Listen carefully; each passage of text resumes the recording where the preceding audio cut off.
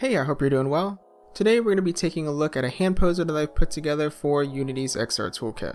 This project is going to let us create custom poses for our interactable objects.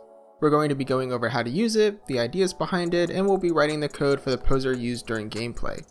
This project has been a long time coming. It isn't the most feature complete thing in the entire world, but hopefully it serves as an example for you to work off of if you want to add additional functionality to. But to get started, you'll find the template project in the description below, and once you open it up, you'll get something that looks like this. Note that I'm using Unity 2019 and device-based tracking. Now, before we even get started, there's a lot going on, and I know we're not going to be going over every single little thing. We're not going to go over the editor scripts or anything like that. In some of the sort of supporting scripts for the editor itself, I would sort of leave for you to look at it on your own time just to see how it works, but I will be touching on them to sort of try and describe what the overall vision or the overall workings of all of this is. And you may already be thinking, Andrew, it's just a hand poser. How much could there possibly be to it? There's not a ton, but there's still plenty of things to consider. So let's look at how to use it so you can get an idea of that. So if we go into our hierarchy over here, we have a couple of interactable objects. We have our XR rig, we have our geometry for our scene, and a sample interactable that we're going to set up now. So let's double click that. And we'll zoom out a bit. And this has already been set up with the XR Grab interactable, so it can technically already be picked up, we just need to add the functionality for the hand poser itself. And as we walk through this, I'm going to describe a little bit about each of the components, and then we'll go to look at some of the actual scripts. And then we'll be working on the actual script for changing the pose of the hand while our game is playing. Okay, so let's get started. Let's first go down to Add Component, and we're just going to add a pose container. And the pose container is a very simple script. All it does is hold this pose object, which is a scriptable object that's going to hold the information for our fingers as well as the offset of the hand itself. But to get started with editing a pose, we'll just hit Open Pose Editor, and you'll notice that this opens up in its own editor window. Which I'll be honest, I'm not much of a tools developer, so this was quite a big undertaking for me, but I think it came out pretty well overall. And it's not probably the prettiest thing, but it gets the job done. But if you're familiar with SteamVR, some of this functionality may look familiar to you. One thing that we're going to take note of right now and touch on in a little bit is that we've also created this temporary pose helper object within the hierarchy that's going to hold all of the functionality for kind of the poser itself. Because as you can imagine, I can't just put all of the functionality within the editor window itself. It kind of started off that way, but then it quickly ballooned out of control and I kind of had to come up with some alternative ways of doing it. But let's go ahead and create a new pose. So we'll hit create pose.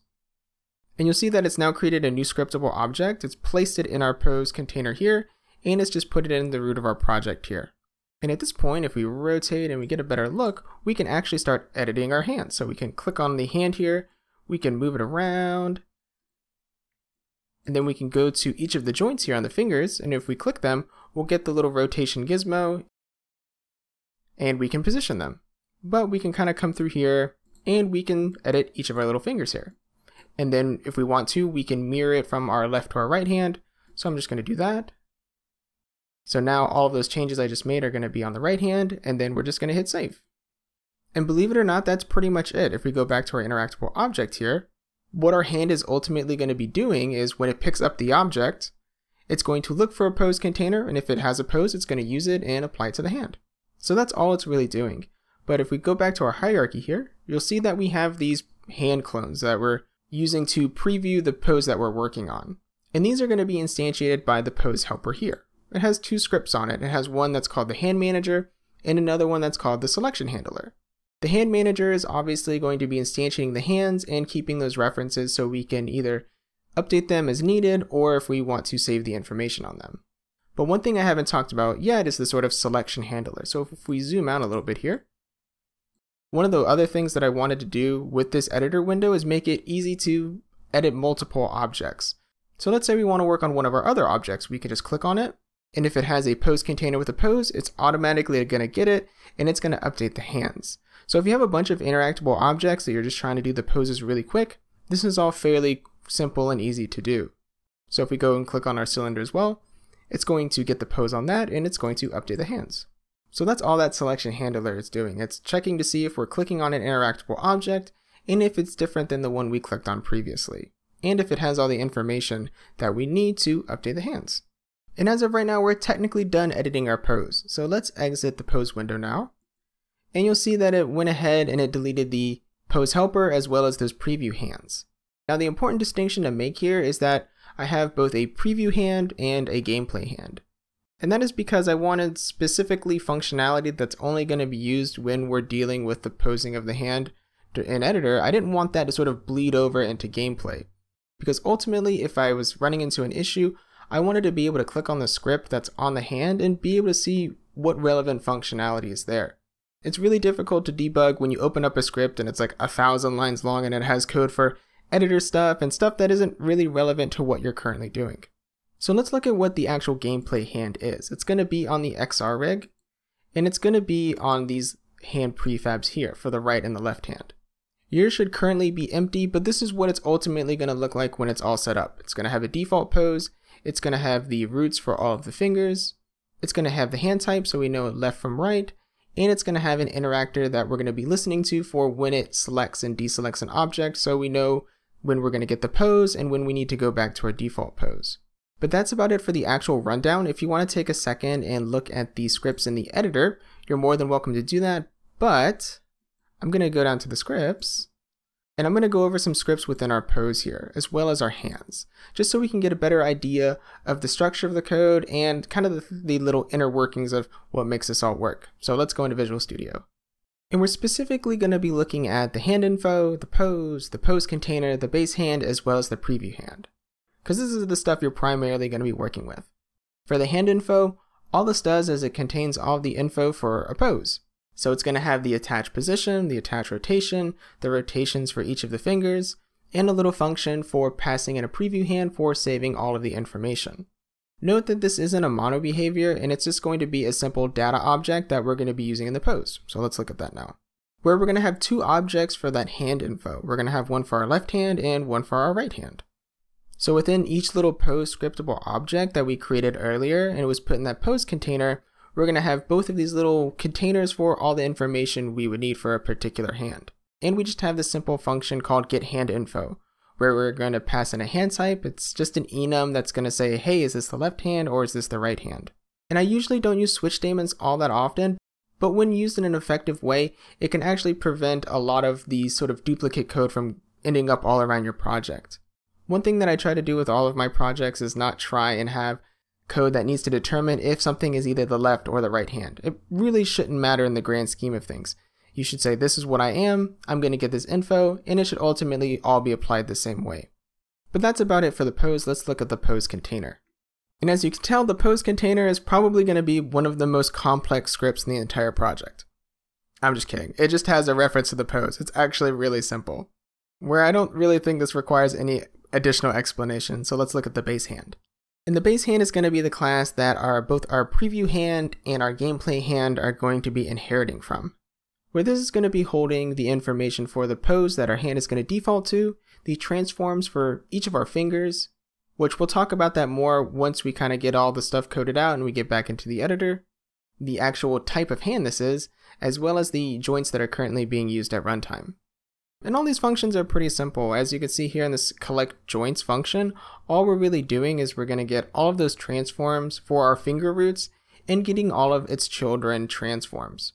And as a quick explanation of what the finger roots actually are, instead of just dropping in the entire rig of the hand and getting all of the extra joints that may not be relevant to us, I have a list of each of the fingers where it kind of matters. So I drop in the transform that's at the root of each finger. So when it gets the component in children, it's only going to get all of the joints that are from the root of the finger to the tip of the finger. So this is when we mirror it and things like that, it doesn't cause any weird stuff. And just another quick example, if we look at this apply pose function, all we're doing is going to pass in the pose that we want to apply to this hand. We're going to be using the current type of the hand to get the info that it needs, and then we're going to be applying the finger rotation as well as the offset. One thing to take note of is that the apply offset does change in between the preview hand and the gameplay hand. And this is because when we click on an object and the hands get childed to it, all we really need to do is set the local position and rotation of the preview hand to get it in the proper space.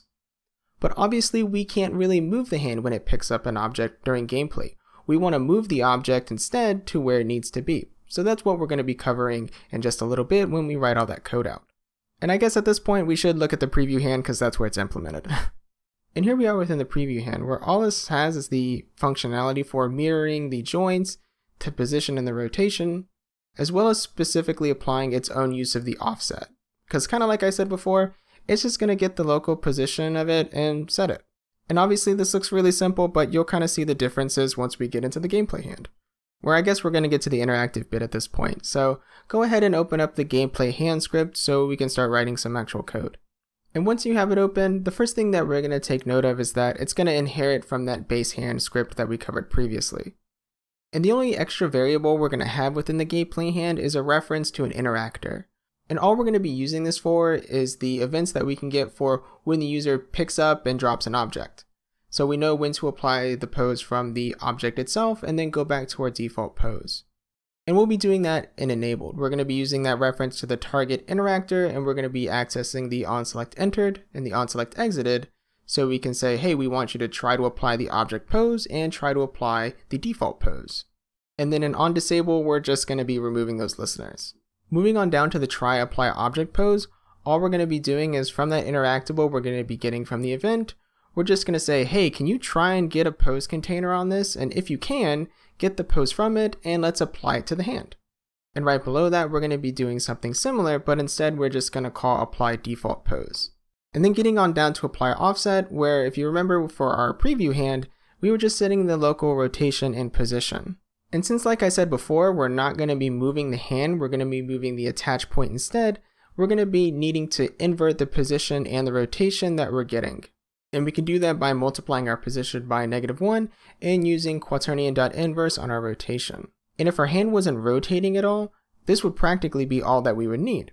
But we also have to take into account that the hand is kind of rotating around the object itself. So I have this extra extension function called rotate point around pivot where we're just going to be using our final position, calling that rotate point around pivot function. We're going to be passing in vector3.0 as our pivot point, and then we're going to be rotating it by the final rotation. And all this is really doing is rotating the pivot point around what would technically be the hand. And since this is a local position, I don't really need to put in the actual position of the hand, I can just put vector 3.0 instead. So what this function actually lets us do is that we can, instead of just positioning the hand, we can also rotate it if we want a more interesting or more complex grip on it. But once we've done that, all we need to do is get the target interactor, get its attached transform, and applying the final position and the final rotation to it. And then finally, in this little on validate, if we don't have a target interactor, we're going to try and get one from the parent. And we're doing this because I want to have it visible in the inspector, but I don't want to have to set it up manually. But I also don't really want to hide that it is necessary for the gameplay hand to work properly. Alright, so that's actually it for the gameplay hand. Let's go back into Unity so we can talk a little bit about the finger roots a little bit more because that's a little complex and we'll test this out to make sure it works. Alright, so now that we're back in Unity, instead of looking at the hands in the hierarchy here, I think it may be a little bit easier to look at it in the prefabs. So let's go to our prefabs folder. We'll go to our hands and you'll notice that we have both our preview hands and our left hand prefabs. They're going to be different. And this may be a little bit of a pain to manage if you want to put in different meshes and things like that, but hopefully we can make that a little bit simpler in the future. Um, one thing I would want to note as we're in the prefabs folder, that the editor window does load the pose helper from this resources folder here. So if you move it out of this folder, it's no longer going to work, so don't do that. Okay, so let's double click one of these hands and we'll rotate around here. And you'll notice that we have this list of finger roots here, where each of these, if we just click on it, it's just going to be a joint on the rig of the hand itself. And I'm doing this because I don't want to just throw in the root here because it's also going to include all of these other joints that aren't necessary for this. And specifically the ones that are around the wrist, once the hand gets flipped, it's going to flip those as well and it's going to completely deform the mesh in a way that is not something that we want. So what we need to do is we need to go along each of the little fingers here and let it know we want to use this particular joint and all of its children when we're going to be recording finger information.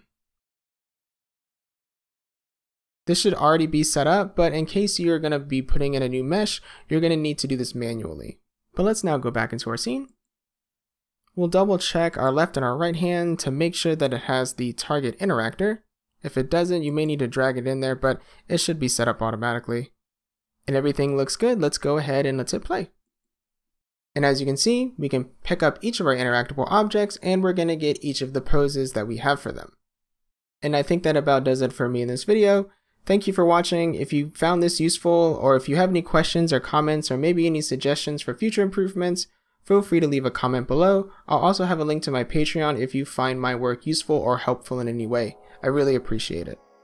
But before I go for good, I would like to thank some very specific people on my Patreon. I would like to thank Sven T, Pierre Franson, Eric Spatrix, Soul Harvesting, Permerswall, Matt Adamson, John Anthony, Todd Andler, Joel Diaz, Andreas Brillen, Kai Hewlin, Garrison Ball, HTKL, Aya Sadar, Bugan, Sean Oliver, David Drexler, Zoe Oliva, Krabby Tiger, Michael Schubert, and Peter Chow. Alright, now I really think that about does it. Thank you for watching. I'll see you all in the next one.